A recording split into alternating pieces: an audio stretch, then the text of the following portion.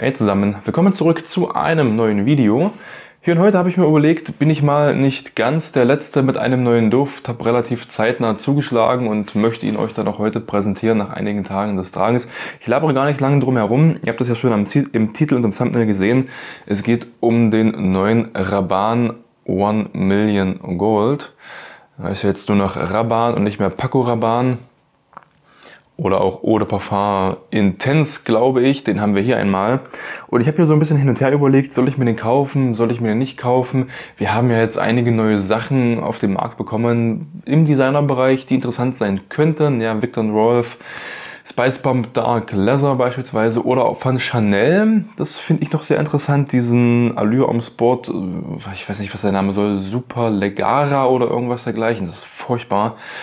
Dann haben wir noch von Mugler den Amen, Amen Phantasm. Der war auch schon bei mir im Warenkorb drin. Ich habe ihn dann wieder rausgeschmissen. Ich bin immer noch im Überlegen, ob ich den kaufen soll oder nicht. Oder, oder, oder. Also es gibt ein paar interessante Sachen. Ich habe mich letztendlich hier für das Teil entschieden, weil ich zugeben muss, ich finde den Ur One Million jetzt nicht so schlecht, auch heute noch. Ich habe von dem noch ein, zwei Bröbchen irgendwo rumliegen, die ich ganz gerne mal trage und mir so denke, eigentlich ist der geil.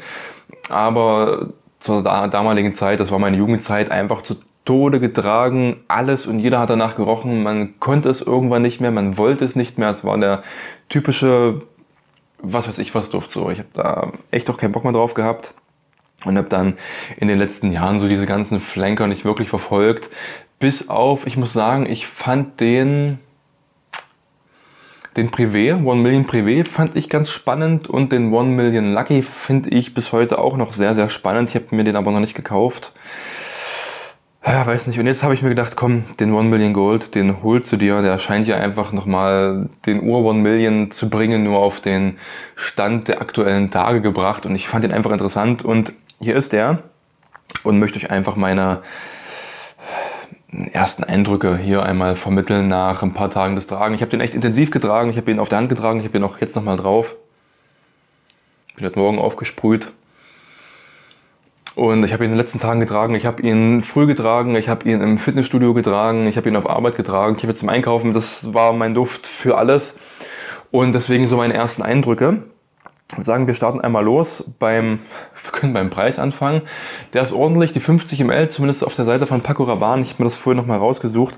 Also unter 100 Euro geht da im Grunde genommen gar nichts.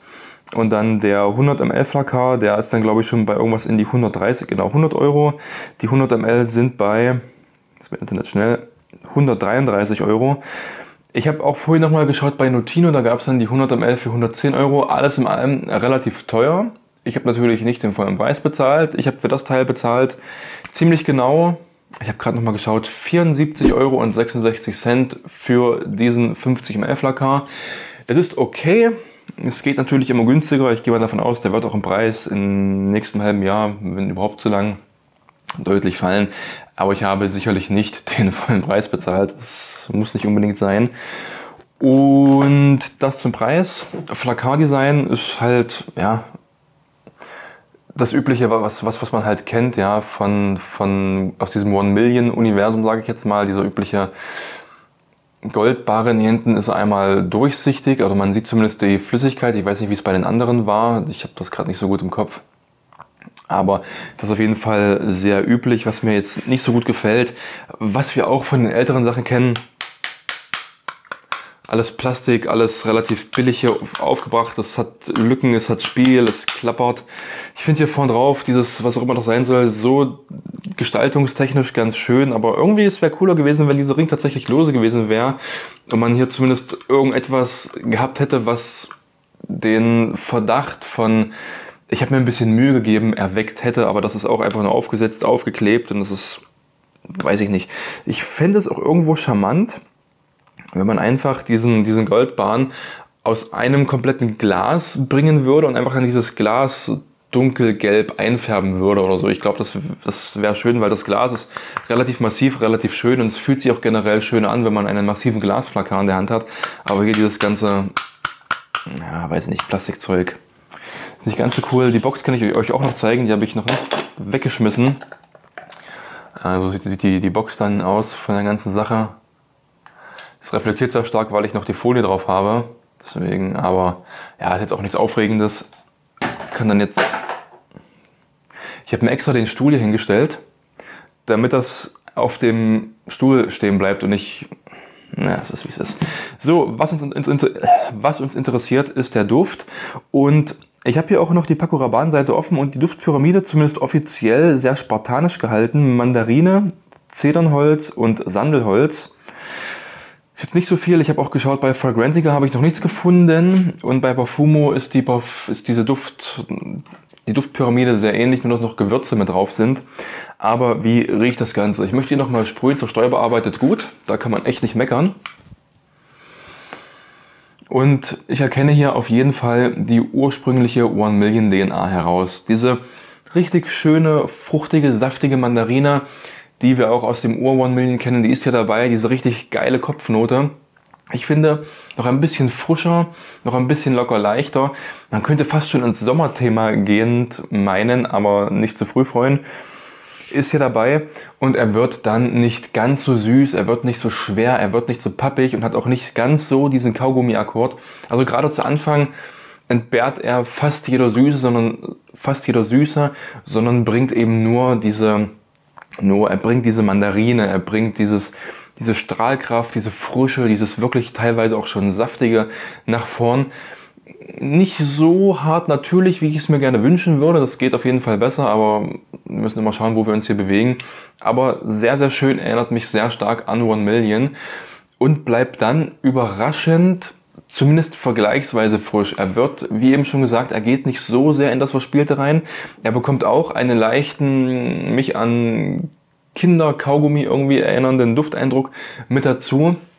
Aber er verliert sich nicht ganz so in dem pappsüßen, quietschigen Party-Jugend-Duftthema, sondern bleibt überraschenderweise relativ, relativ immer in Anlehnung an seinen Namen betrachtet, relativ seriös und bekommt einfach dieses schöne Holzige mit dazu. Das will man bei der Duftpyramide auch erwarten. Und er hat dieses sanft, cremig, warme, was er mit einbaut, was ich persönlich sehr, sehr charmant finde. Alles in allem, er kann sich nicht ganz widersetzen und muss trotzdem so einen leichten Kaugummi, süßen irgendwas Akkord mit reinbringen, wo auch immer der herrührt. Ich meine auch, dass ich so einen leichten Zimt mit herausrieche. Aber nur ganz leicht alles in allem würde ich einfach sagen, das ist so der One Million, wie wir ihn kennen, ein bisschen entschärft. Und das ist so dieser Typ, der erwachsen geworden ist. Ja, der Ur One Million ist, meine ich, aus, das müsste 2008 gewesen sein. Und das war meine Jugendzeit. Und das ist so der Typ, man erinnert sich noch daran, aber irgendwie er ist seriöser geworden. Er hat es geschafft, sich eine ordentliche Hose anzuziehen, er hat es geschafft, sich ein ordentliches Hemd anzuziehen, geht auch einer seriösen Tätigkeit nach, zumindest halbwegs, ja, man weiß es nicht so genau, und bringt immer noch so ein bisschen den, den wilden Typen raus. Und er will immer mal noch hier und da auf eine Party gehen. Aber er bleibt gediegen, er bleibt im Rahmen, während der Ur One Million komplett in die Pappsüße, alles drum und dran versunken ist hat er sich hier ein bisschen besser im Griff und wirkt tatsächlich ein bisschen erwachsener, ein bisschen ausgegorener und auf mich schon durchaus charmanter. Ich selber muss sagen, ich finde diesen Duft echt angenehm. Ich finde ihn tatsächlich auch schön. Ich muss dazu sagen, ich bin, ich habe ja am Anfang schon gesagt, durchaus ein, na gut, ein One Million Fanboy ist zu viel gesagt, aber ich bin der Duft-DNA zumindest grundsätzlich nicht abgeneigt, auch wenn ich sie nicht jeden Tag tragen muss, weil es einfach für mich immer noch zu viel ist also für mich ist das durchaus eine Veröffentlichung, die schön ist, die mir auch gefällt. Muss aber sagen, jeder von euch da draußen, der grundsätzlich diese One Million Duft DNA ablehnt, auch nur im Ansatz, wenn er irgendetwas im Ansatz dahingehend riecht und das ablehnt, ist das ja nichts für euch. Dann werdet ihr den nicht mögen. Ja, wenn ihr generell so diesen ja, damit ist eigentlich alles gesagt. Wenn ihr mit, mit One Million nichts, nichts anfangen könnt, ist das auch nichts für euch. Wenn ihr grundsätzlich die Duft-DNA zum Kürzen findet, dann könnt ihr den ja auch vergessen, ja. Aber wenn man dafür Sympathien hegt, so wie ich, und das einfach ein bisschen moderner, ein bisschen seriöser und auch mit dieser sehr schön gemachten frischen Mandarinnote am Anfang gerne riechen mag, dann ist das hier durchaus eine, ja, ein solider Duft. Haltbarkeit, Projektion, muss ich sagen, bin ich mir noch ein bisschen uneins. Denn ich habe den bislang als nicht so besonders stark wahrgenommen, muss ich ehrlich sagen. Auch die Haltbarkeit hat sich bei mir hart in Grenzen gehalten. Ich habe, wenn immer wenn ich den gesprüht habe, Nach einer bis anderthalb Stunden habe ich den an mir selber nicht mehr wahrgenommen. Liegt entweder an mir, weil meine Nase schlecht geworden ist, keine Ahnung, oder weil ich mit dieser Duft-DNA generell schon so fertig bin, dass ich die, die komplett ausblende. Aber auch auf der Hand. Ich habe den, immer wenn ich den getragen habe, mir noch nebenbei auf die Hand gesprüht. Und so nach vier, fünf Stunden war da nichts Sinnvolles mehr da. Er war noch da, keine Frage aber nichts Sinnvolles. Und ich habe durchaus viele Düfte hier, die ich auch nach vier, fünf Stunden immer noch in leichten Wellen an mir wahrnehme. Ich sprühe auch auf die Klamotten. Auch das hat nicht viel gebracht. Ich weiß nicht, ob ich hier einfach Pech gehabt habe oder ob der noch irgendwie ein bisschen nachreifen muss, nachdem er durch das Sprühen ein bisschen Luft gezogen hat und ich dir nach zwei, drei Monaten genau das Gegenteil berichte. Keine Ahnung. Aber so für sich betrachtet, für die Duft-DNA könnte hier mehr gehen. Und auch wenn ich so an die One Million Zeiten zurückdenke, an wie penetrant diese Brühe einfach war, wie verdammt penetrant der war und wie lange der gehalten hat, ist das hier schon deutlich drunter. So, das will ich auch einmal sagen. Sonst, ich finde den gut. Den Vollpreis würde ich nie im Leben dafür bezahlen.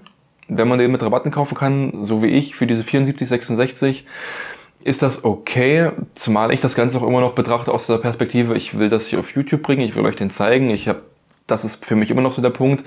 Rein nur um den tragen zu wollen, hätte ich ihn mir auch für diesen Preis nicht gekauft. So ehrlich muss man auch sein. Ja, ich habe es gibt nur noch diese anderen Kriterien, weil auch vieles habe ich bei anderen Kanälen auch gesehen.